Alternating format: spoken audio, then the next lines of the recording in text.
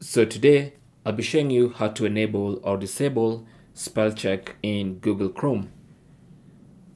So the first thing you want to do is launch your browser and then click on the three dots in the top right corner and select settings. Under settings, go to the left hand side and click on languages. And then under languages, you have the option for spell check as you can see right here. So currently spell check is disabled. To enable, simply click on that. It turns blue and moves over and that's when spell check is enabled. Now, after you enable spell check, you have a few more options.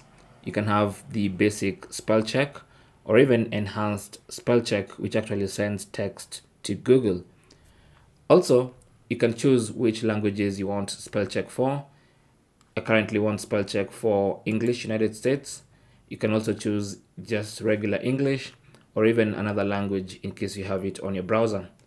Now, if you click on customize spell check, you have the option to give exceptions to certain words, maybe certain words that you normally use in your English, people's names. This could be names of uh, special trees in different languages that you really want to be typing without triggering the spell check on Google Chrome.